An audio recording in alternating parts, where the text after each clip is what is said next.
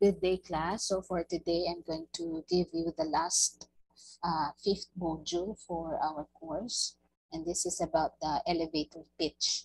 Now, this is usually the way in which we introduce a product, we introduce our very own skills and abilities to would-be uh, employers or any idea under the sun which we think is innovative or something that is new or novel. So an elevator pitch is something that uh, we can use as a tool or as a means of getting our information across a specified audience. Now, as for the learning objectives of this module, so we are to determine the importance of the elevator pitch and evaluate the very important components or elements of a perfect elevator pitch. Now, I have here an example of an elevator pitch on how to sell your abilities. So you are would be graduating a few months from now, you'll be reviewing for your board exam and after which you're going to look for a would-be employer. So it's like selling your capabilities, your skills, your talents to a prospect employer. So this is not going to take long, but it, so in this particular small page, your idea or your uh, shall I say, the way you sell your capacity will get through your uh, would-be employer. So please take time to listen.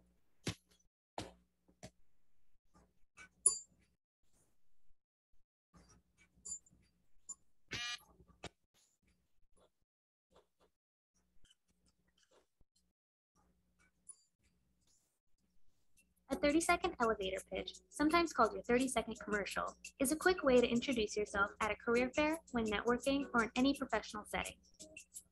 Start off with a quick intro your name, year in school, and major. Easy, right? Next, mention your plans for the future.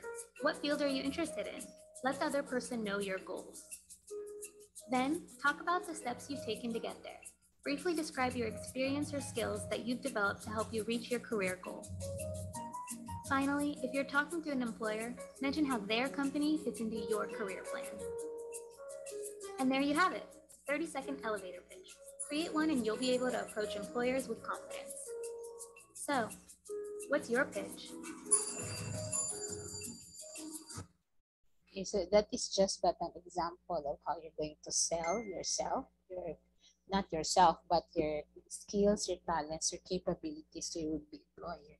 So it's a very short way of getting across a person's interest or stir up a person's uh, enthusiasm or interest on something that you'd like to offer him or his company. Okay, so that's uh, an example actually of selling, but what you're selling is your service, is your contribution, your innate capability and skills to the company of your would-be employer. So you're offering what you alone can offer that company that no other, uh, shall I say, applicant can give to that company. So it's up for your employer to really decide whether you'll be hired or not. So that is uh, likened to a pitch. In this case, an elevator pitch because it takes the time of riding an elevator for the particular pitch to be finished.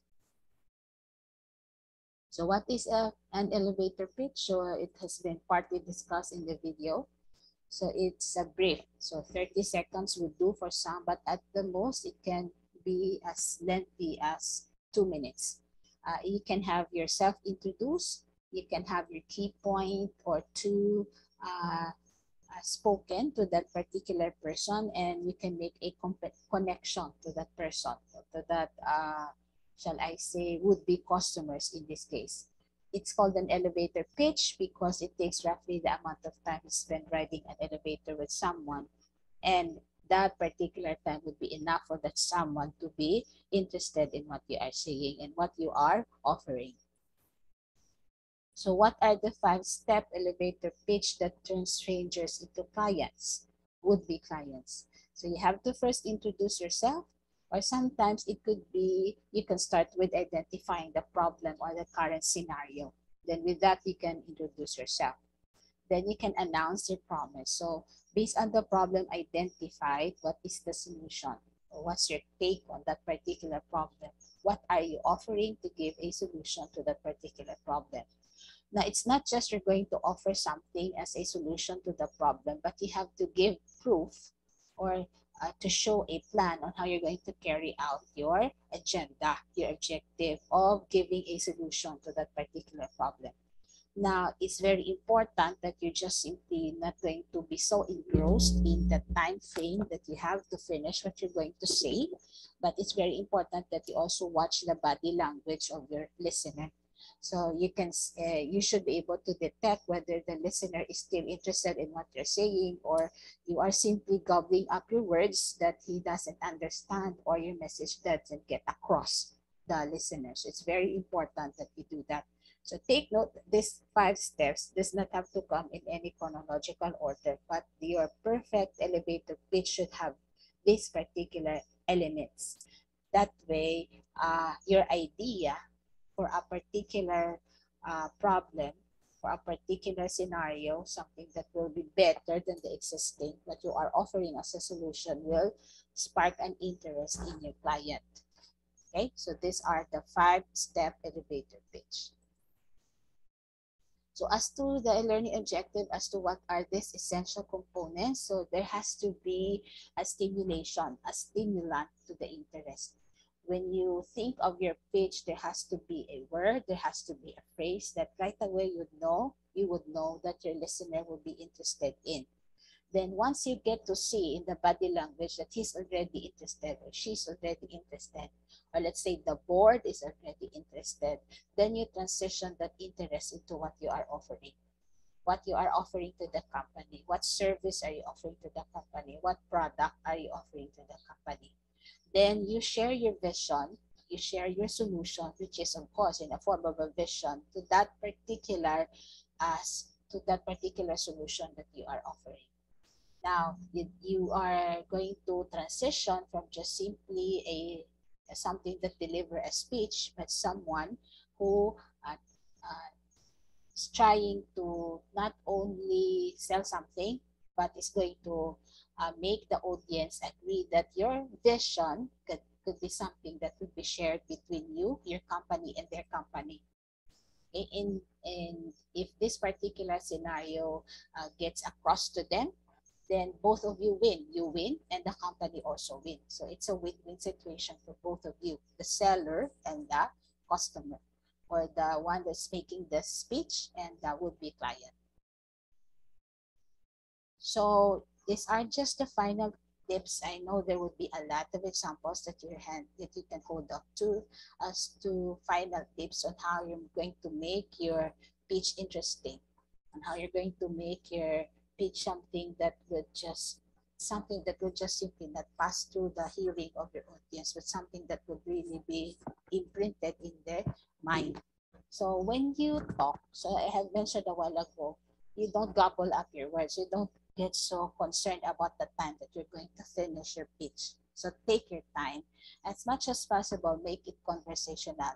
Not that you're going to speak like a robot or a parrot that uh, as long as you deliver what you're to say, then uh, it's like you're so you're just a distant speaker to somebody who's listening to you. So make it conversational.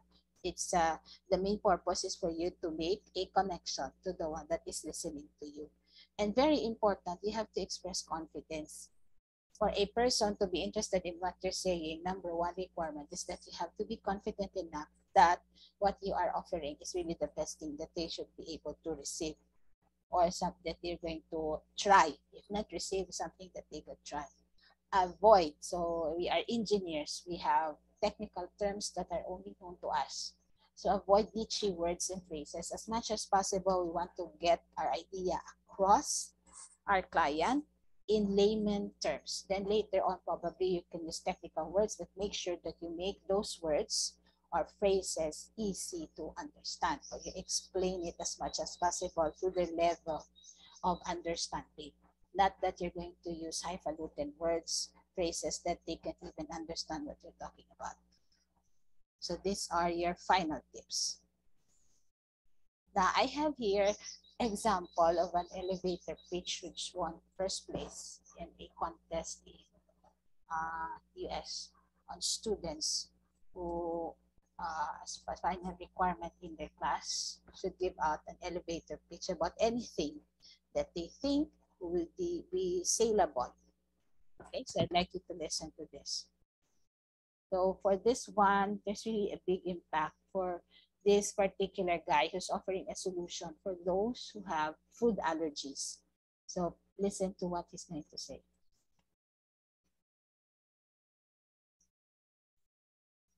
Ready, set, hit. By the time I'm done speaking, at least one person in the US will join 500,000 others that go to the hospital every year because of an allergic reaction to food. I have been one of the 500,000.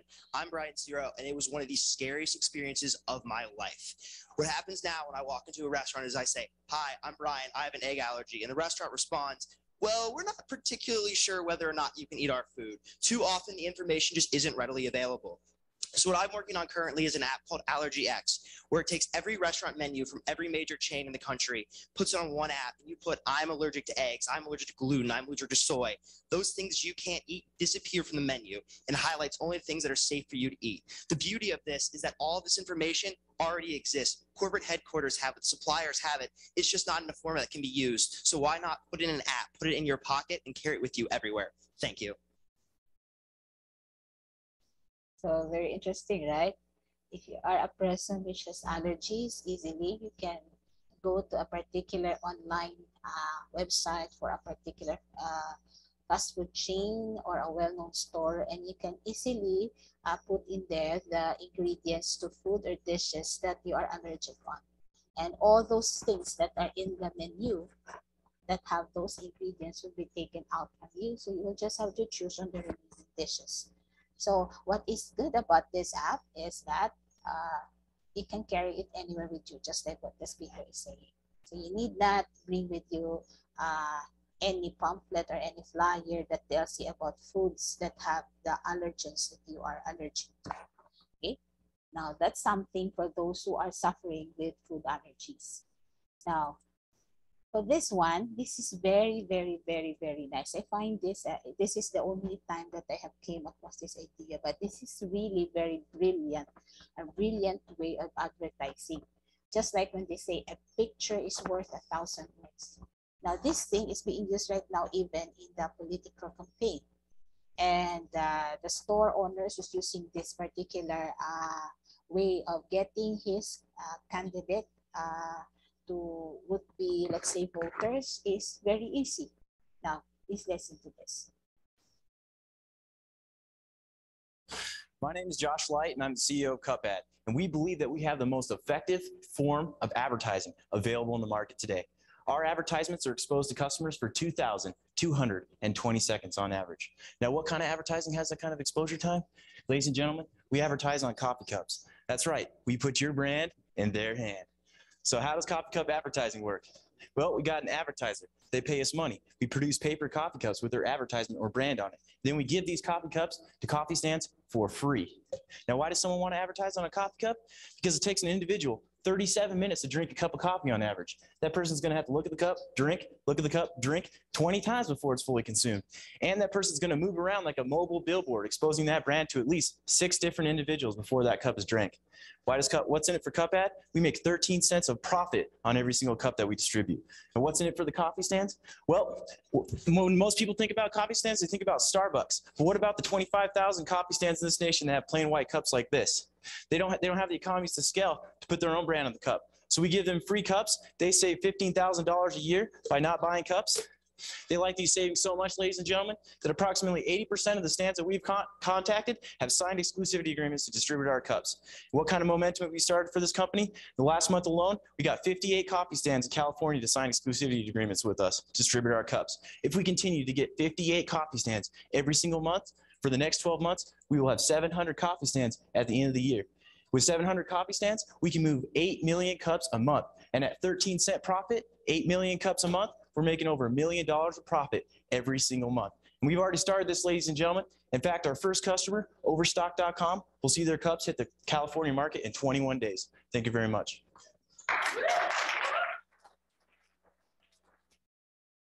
So that's paper cup advertising. So it's a win-win situation, just like what we shared a few moments ago. You win, you earn, and your customer also saves money. And you get your idea. Isn't it a brilliant idea? So in your coffee cups, uh, in the especially in here in the Philippines, we're in uh, there are a lot of coffee drinkers. So you get your message across to a person that drinks coffee, or you can even extend it to those who are uh, selling sago't gulaman but doesn't have, uh, let's say the the money, the let's say the additional uh, cent to spend for a very nice coffee cup. So what a particular advertising company could do is that offer as a as a free cup or gulaman cup or whatever it is to those uh, sa gulaman tenders. So they get to save money, you get your idea across to people. So it, it depends really actually on the audience or on the clients or the customer segments that you are going to target. So if you want the coffee drinker, so you can use the coffee cup as an advertiser. If you want the the tea, the tea drinkers, then you can have the tea drinkers cup. Especially for those sellers who doesn't have their own brand. So they are those uh, small, medium enterprise that doesn't have uh, the money to spend additional cent to spend for a very nice cup, whatever that may be. So this one idea is very brilliant. So I'm sure right now you have a lot of ideas already going through your mind as to what would be your elevator pitch for the product that you have already uh, thought of in your business plan. So this is one way of uh, sparking the interest of your listener or getting idea across. Advertising using an, a pitch.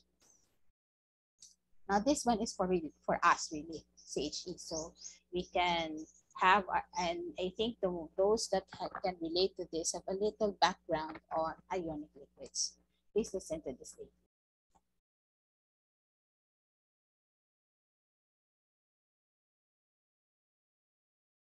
Next up, we have Jill Harlan from UD College of Arts and Sciences. What do you think when I say the word innovation? Maybe light bulbs, heating, computers, or even Fitbits come to mind. What do you think when I say innovations of the future? Hoverboards, teleportation? Well, actually, the answer is ionic liquids. According to a poll in the UK, ionic liquids are voted the number one innovation to shape the 21st century. Ionic liquids are salts, just like the table salt you sprinkle on your popcorn. But instead of being solid, they're liquid, and this gives them an insurmountable number of applications. Have you ever walked down the street and seen that black gook that was once chewing gum now forever ingrained in the sidewalk? Ionic liquids can easily remove that. Have you ever heard the high-pitched beeping of the fire alarm telling you it's time to change the batteries and wishing that batteries lasted longer? Ionic liquids are being studied to increase battery life. Have you read or heard in the news about the importance of capturing greenhouse gases in order to save our planet? Well, that's where my research comes in. I study ionic liquids for carbon dioxide capture. Right now, what's currently being used is toxic and corrosive. Ionic liquids could be the superhero of gas capture. They can capture more carbon dioxide and be less harmful than what's currently being used. Can you taste the future? If my research successfully reveals an ionic liquid that can efficiently capture carbon dioxide, then they could fulfill their potentials as innovations of the future and they could improve our world. Thank you.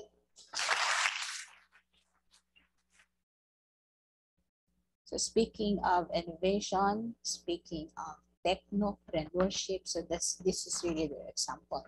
So ionic liquids is being now offered as a solution to global warming because it captures greenhouse gases. So however, the one who shared uh, her uh, research is still in the process of finishing the research.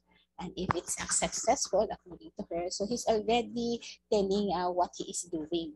Uh, is giving proof already that she's doing something and what he, she plans to do further. That way he, she can offer a solution to an existing problem and that's global warming due to CO2 gas in the atmosphere. So the increase of the amount of CO2 gas in the atmosphere. So these are just examples of elevator pitch. So it could be something that you could use for uh, getting hired. It could be something that you could use for advertising, and it could be something that you could use really for selling something so that a particular problem could have a solution. So I hope this uh, particular examples and uh, uh, small uh, definition, the elements that were discussed regarding the elevator pitch should be able to guide you to craft your own uh, pitch. So it should not be more than two minutes. Uh, in the last particular example, the ladies, they're just given 90 seconds to finish. That's around one minute and a half to get their ideas across. Okay? So I hope this uh, set of slides will, will be able to guide you in making your own perfect pitch for your own idea. Bye for now, class.